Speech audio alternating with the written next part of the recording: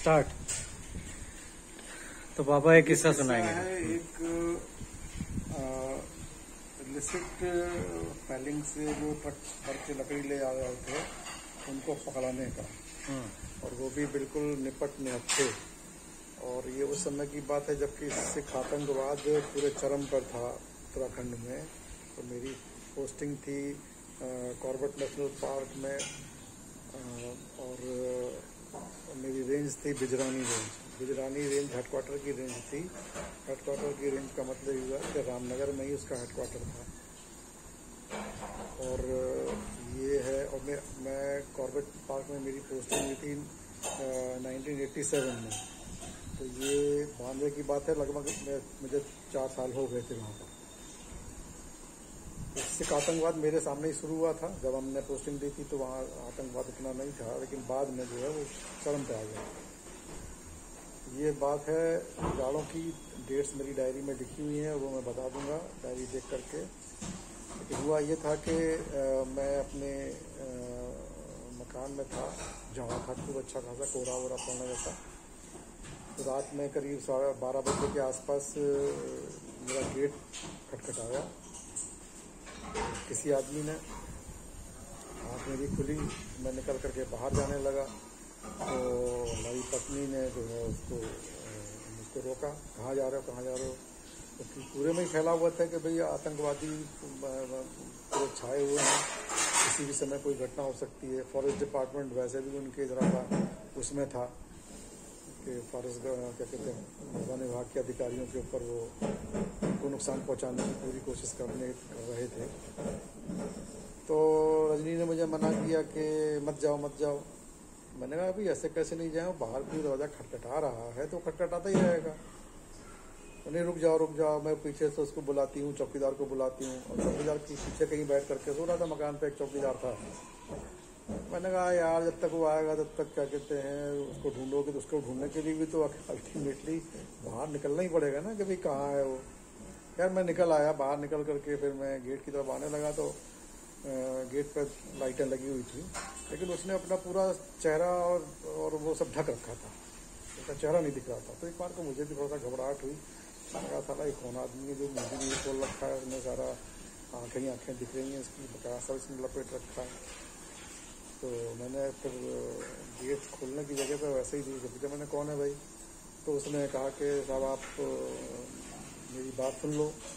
मैंने कहा, तुम पहले बताओ तो हो कौन? तो मैं तुमको नहीं जानता कि, साहब, मेरी बात सुन लो। आप दरवाज़ा भले ही मत खोलो, लेकिन मेरी बात सुन लो। तो मैंने कहा, ठीक है, दरवाज़ा नहीं खोलना, बताओ क्या बात?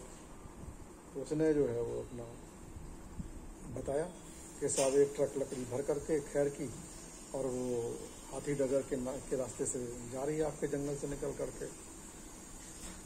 तो मैंने कहा तो तुमको इससे क्या आपत्ति हो रही है? ये बताओ तुम्हें क्या दिक्कत है? कि साहब दिक्कत अ, कुछ नहीं है। मैं एक मुखबिर हूँ। आपकी मदद करने के लिए आया हूँ। और तो मैंने ठीक है अच्छी बात है। और तो मैंने कि भाई मुझे स्टाफ ले जाना पड़ेगा साथ में पकड़ने के लिए उसको। तो इतना बड़ा ट्रक है पता नहीं कैसे लोग होंगे उसमें बैठे हुए। तो कहने लगा, साहब, इतनी समय नहीं है आपके पास। इतनी अगर आप अपने स्टाफ को बुलाओगे, ये करोगे, तब तक तो गाड़ी निकल जाएगी। तो भाई, उस समय आज की तरीके से मोबाइल वोबाइल तो थे नहीं। तो आपको पर्सनली जा करके ही उसको लेना पड़ता गाड़ी से।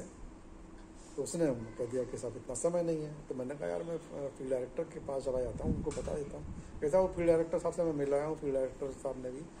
जो है वो कह दिया है कि वो मैं उससे बोल देता हूँ टास्क फोर्स पड़ी हुई है उससे बोल देता हूँ वो उनके यहाँ चले जाना तो मैंने कहा तो फिर टास्क फोर्स के पास आप टास्क फोर्स के पास गए तो उन्होंने भी कह दिया कि हमारा तो सारा स्टाफ छुट्टी पर है। हम्म, उस समय माहौल इतना ख़राब था कि पुलिस वालों की हिम्मत नहीं पड़ती थी शाम को अंधेरे होने के बाद बाहर निकलने की। जो रामनगर कोतवाली थी उसकी भी लोगों ने उन्होंने अपनी दीवारें इतनी ऊँची ऊँची करके गेट बंद कर दिए थे और वो खोलते नहीं थे उसके बाद। तो कहा कि तो फिर यार तुम्हारा कहने का मतलब ये कि मैं अकेला चलूँ। स्टाफ मेरे साथ चलना नहीं चाहिए। टास्क फोर्स ने मना कर दिया डिप्टी डायरेक्टर हमने मना कर दिया पी डायरेक्टर हमने मना कर दिया। तो मैंने कहा भाई अब ये अकेले में कैसे पकड़ सकता हूँ उसको? कैसा अब आपका काम है आप देख लो अगर आप अ, मेरा काम था मैंने आपको बता दिया बताने का मैंने बता दिया अब आप पकड़ना चाहो पकड़ो नहीं पकड़ना चाहो मत पकड़ो। मुझे आया कि यार ये आदमी फ्रॉड नहीं है कुछ ये जेन्युइन आदमी लग रहा है। तो मैंने कहा अच्छा रुको। मैंने गेट खोल दिया वो अपना आ आ गया उन्होंने कहा साहब जल्दी करो जो कुछ है क्योंकि नहीं निकल जाएगा फिर आपके हाथ नहीं आएगा ट्रक तो मेरे पास अपनी मारुति एट हंड्रेड गाड़ी थी डी डी यू तैंतालीस चवालीस बिस्किट कलर की। मैंने निकाली मेरे पास अ, सरकारी राइफल थी 315 बोर की वो मैंने रख ली लोड करके। और बैठ गया पीछे गाड़ी मैंने चलाई और उसको जो मुखबिर था उसको मैंने पीछे बैठा दिया अपनी राइफल भी दे दी उसको कि तुम पकड़ के बैठे रहना।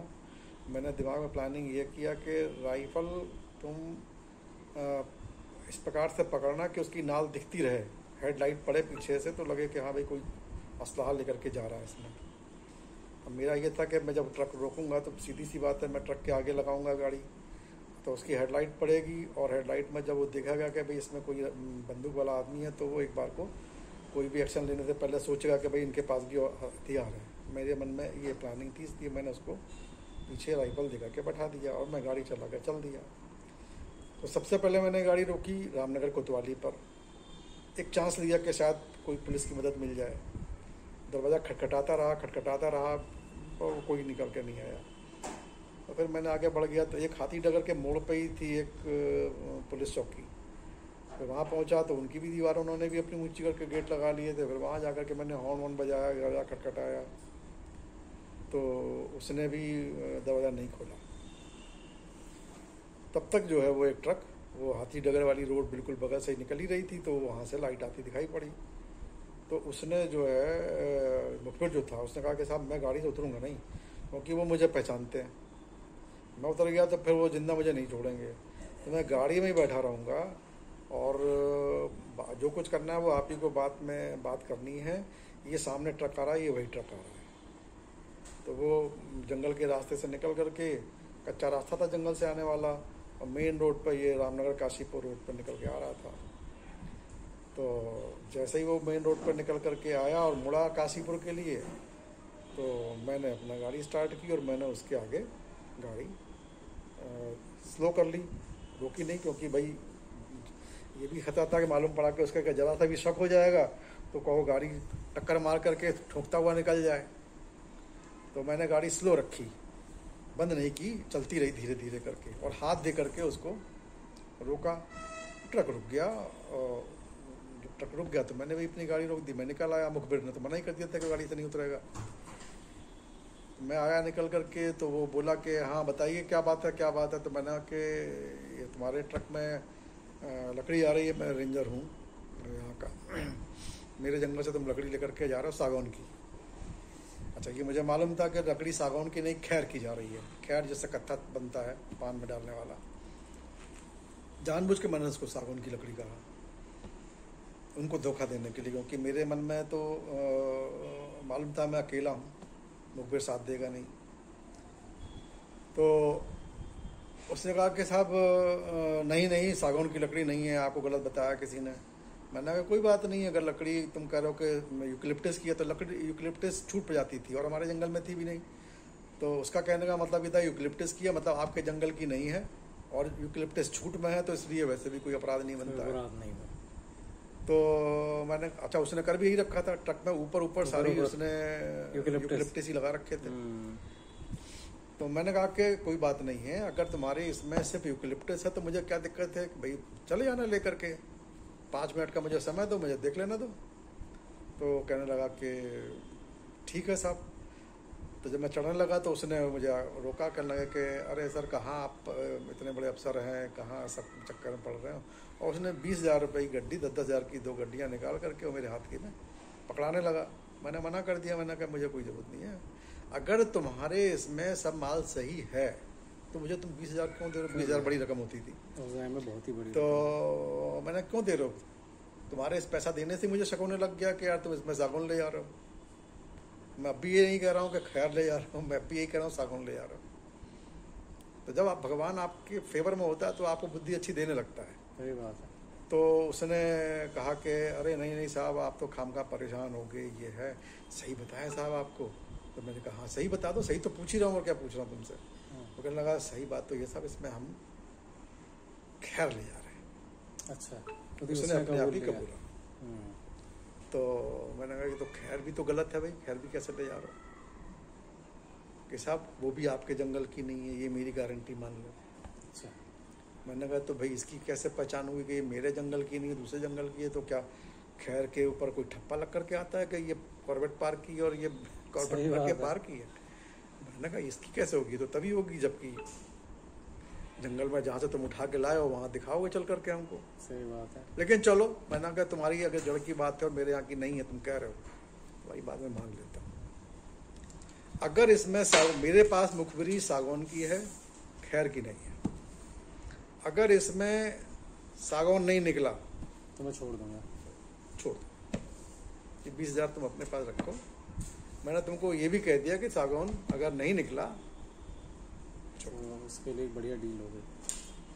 अब वो निश्चिंत हो गया कि यार सागौन तो है ही नहीं इसमें और एक खैर पे मेरे ट्रक को छोड़ देंगे। तो वो एकदम निश्चिंत हो गया कि मैं तो अब फ्री हो गया। तो मैंने कहा अब इसको चेक तो करा दो कि साहब ऊपर तो यूकलिप्टस के लट्ठे लगे हुए हैं, तो उसमें निकालने पड़ेंगे हटाने पड़ेंगे। तो मैंने कहा कि तो चलो कोई नहीं है हमारा ऑफ़िस है ही कितनी दूर यहाँ से पाँच सात किलोमीटर ऑफ़िस है। वहीं कल के मैं मेरा स्टाफ दो चार लोग रहेंगे। यूकलिप्टस के बोटे निकाल करके नीचे देख लेंगे। वो आ गया मेरी बात में। उसने वहीं से ट्रक मोड़ लिया मैं भी गाड़ी अपनी मोड़ ली। अब हमने अपनी गाड़ी उसके आगे नहीं लगाई हम पीछे कर ली। उसको आगे कर दिया। पीछे से भाग ना जाए इसलिए कि भाई पीछे से ऐसा ना हो कि कहीं और हम उसमें हमने हाँ। इसको प्रिकॉशनरी मेजर में हमने अपनी गाड़ी पीटी। जब रामनगर के पहले एक मोड़ पड़ता है जब वहाँ आने लगे तो उसमें से ट्रक में बैठे हुए मैंने देख लिया ट्रक में पाँच छः आदमी बैठे हुए हैं कंबल लपेटे हुए थे। वहाँ पर वो चार पाँच आदमी उतर उसमें से उतर गया दो ही आदमी उसमें रह गए। तो ये जो उतरे थे ये ये सारे पाँच छह आगे ही बैठे हुए थे या जो पीछे की साइड होता है नहीं नहीं पीछे जगह तो बहुत होती है। सब पीछे सब बैठे आगे बैठे थे ड्राइवर के बगल। में और फिर उसके पीछे जो जगह होती है उसमें सब बैठे हुए थे हम्म, हम्म। तो वो जो मुखबिर था वो बोला कि साहब कि ये तो गए आपके इसमें से उतर करके ये सब असलाहा वाले थे इनके पास कट्टे सट्टे रहे होंगे तो आपको ये दो ही लोग बचे हैं इसमें मैंने कहा "तो कट्टे सट्टे वाले भी होते तो तो कहने लगे इसलिए उसने भगा दिया इनको कि ये साले असलाहा पाए जाएँगे तो बड़ी मुश्किल हो जाएगी। खैर साहब वो हम अपने बिजरानी वाले कैंपस में ले आए उनको रात में दो बजा हुआ ऐसे ही करीब हम्म, जा करके हमने तुरंत फिर वो चौकीदार को बुलाया मैंने कहा चौकीदार तो कहने लगा कि साहब हाँ मैंने कहा कि जैसा कि चेक करना है ट्रक पे चढ़ करके देख के सागौन की लकड़ी तो नहीं है किसकी है खैर की और उसको मैंने जो साथ में था उसको मैंने अपने ऑफ़िस में ले जाके बैठा दिया। मैंने कहा, बैठो अभी, जब तक चेक करते हैं खोलते खाते तब तक तुम बैठो, तुमको हम चाय पिलाते हैं। अरे साहब, कहाँ चाय वाय पिलाएँगे साहब? बस ठीक है, आप फटाफट कर लो साहब, क्योंकि हम भी चाहते हैं उजाला होने से पहले। मैंने कहा, उजाला यार, साढ़े पाँच छः बजे तक होता है, आजकल जाड़ों में कहाँ तुम निश्चिंत रहो, तुम्हारा अभी मैं तुमको आधा घंटे में फ्री कर देता हूँ। मैंने कहा, एक दो स्टाफ और बुला लेते हैं, तब तक ये आ जाएँगे, तब पता कर देंगे। उसको मैंने अपने कमरे में ले जा करके बैठा दिया। चौकीदार को इशारा कर दिया कि जैसे ही मैं बाहर निकलूँ दरवाज़ा बाहर से बंद कर देना। बैठ गया वो अंदर जा करके और मैंने आवाज़ ज़ोर से आवाज़ देगा कि मैंने कहा कि फट से चाय बना के पिलाओ इनको और दो स्टाफ वहाँ से बुला लेना। राम आम डंडा से आम डंडा एक हमारी चौकी थी तो जल्दी जल्दी काम हो जाएगा। उसने कहा हाँ साहब हाँ साहब। और हम निकल के उसको बता करके आए और उसने चौकीदार लगा ने पीछे से फट से दरवाज़ा बंद कर दिया बाहर से। फिर वो अंदर से। दरवाज़ा बंद करते ही सब वो समझ गया कि यार ये तो पकड़े गए। बनाया इसने। हाँ, अब लगा साला वो अंदर से चीखने चिल्लाने अरे मुझे हाथ में धोखा किया आपने और मैं आपको ये और मैं आपको वो करता रहा और आपने चीटिंग किया और ये किया तब मैंने उसको तीन गालियाँ अच्छी तरीके से गंदी गंदी। साले चोरी करोगे अपराध करोगे और फिर तुम्हारे लिए तुम्हारे साथ में तुम्हारी भाषा से बात करनी चाहिए थी। मैं अकेला तुझको अगर वहाँ कहता खैर ले आ रहा चल मेरे हाथ में चल देता तू मेरे साथ में। तेरी गाड़ी में बैठे सात आठ आदमी। चलता मेरे साथ में आता? सही बात है। और मेरे साथ में इतना धोखा किया आपने और मैं ये कर लूँगा मैं देख लूँगा मैं कर लूँगा। आप तो देखता रहना मुझे यार। देख लेना। तो वो तो मालूम था खैर लदा हुआ था उसमें पूरा पूरा वो फिर ना आराम से हम तो जाके सोए। सुबह उठे जाकर के फ़ील्ड डायरेक्टर को बताया। मैंने कहा साहब वो ट्रक पकड़ लाया रात में हम्म, हम्म। वहाँ से। फ़ील्ड डायरेक्टर साहब की आँखें खुली खुली रह गई। क्या? अरे तुम पागल हो गए हो क्या? तो मैंने कहा कि क्या हुआ था? कह रहे, अरे यार, इतने खराब उसमें आतंकवादी माहौल में तुम कौन गया था तुम्हारे हाथ में? मैंने कहा, मेरे हाथ तो कोई नहीं गया, मैं अकेले गया था अपनी कार से. अरे यार, शर्मा, तुम यस नेगी साहब हमारे फ़ील्ड डायरेक्टर थे। बहुत मतलब स्ट्रांग मैन माने जाते थे, लेकिन वो भी एकदम से चौंक रहे थे करने कि यार, तुम तुम किसी को लेकर क्यों नहीं गए? कि मैंने कहा, साहब, वो कहीं ऐसे रहा था कि कोई अगर आप किसी को लेने के चक्कर में पड़ोगे तो ट्रक निकल जाएगा। टाइम ही नहीं है। वो तो शायद आपके पास रात में आया था कि हाँ मेरे पास आया था, मैंने भगा दिया साले को अबे, जान थोड़ी ना देनी है यार अपनी। तो मैंने कहा, साहब, अब उसकी बातों से मुझे यही लगा कि ये जेनुइन आदमी है। अरे यार जेनुइन आदमी है। वही आदमी है यार जेनुइन आदमी है तो तुम चल दिए अपनी कार लेकर के। तो मैंने कहा कि आप साहब, जो भी हो गया, फ़िलहाल मैं पकड़ को तो कहने लगे कि फिर उन्होंने पूरी कहानी के साथ सुना। कहने लगे चलते अरे ऊपर ऊपर वाले के का आशीर्वाद था जो इतने भयानक उससे मैंने कि था अब, अब मुझे लगता है कि हाँ सही बात है कि भाई ऊपर वाले ने ही कराना था ये काम। अदरवाइज़ आपने मना किया टास्क फोर्स ने मना किया डिप्टी डायरेक्टर ने मना किया। उसने मुझसे ये भी कहा कि किसी स्टाफ को लेने के लिए समय नहीं है आपके पास। कोई भी और आदमी होता तो उसके दिमाग में ये आता कि यार कहीं घेर करके मुझे मारने की तो प्लानिंग तो नहीं कर रहा ये बंदा? अभी यहाँ मीठा मीठा बोल रहा है ले जाकर कहीं घेर ले। लेकिन साहब पता नहीं क्यों मुझे विश्वास था ऐसा कुछ नहीं है ये आदमी मैंने कहा आपको मैं बताऊँ? अभी मैं आपको अभी एक बात तो मैंने बताई नहीं है। मैंने अपनी राइफल तक तो उसके हाथ में पकड़ा दी थी। कि साला मारना तो ले तू साले मेरी को मेरी गोली से उसको मुझे मार ले। फिर- की बात बता रहे हैं साहब हैं तो कहने तस्करी कर रहे थे ना चोरी कर रहे थे लोग लकड़ी की। तो पापा ने अकेले गए थे पकड़ने के लिए। चंदन की लकड़ी होती थी पहले चोरी है। चंदन की की- नहीं थी वो थी कत्था बनाने वाली खैर की लकड़ी। बस उसी उसको देख करके फिर वो पूरे रामनगर में चर्चा हो गई उसकी। फिर जो है इसी काम पर मुझको स्टेट ऑनरेरियम दिया सरकार ने।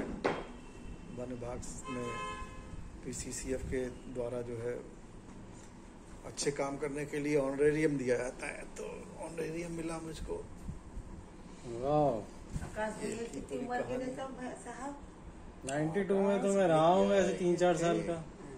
तीन चार साल चार साल का रहा हूँ 88, 89 के। चार साल का रहा होगा चार साल का भी पूरा नहीं रहा होगा। हम्म, तीन साढ़े तीन साल का होगा। तो ये था ये किस्सा था। इंटरेस्टिंग ऐसे और किस्से आते रहेंगे। अच्छा लगता है ऐसी बातें सुनने में।